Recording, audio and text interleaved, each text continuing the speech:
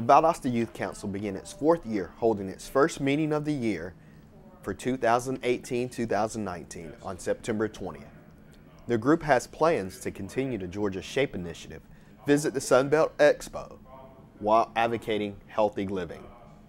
They also plan to declare the officers of the VYC installed for the 2018-2019 year. Our best wishes to you and to your new and they are excited to get started. Serving your community, like it's still fun and it's good for you to learn about what goes on.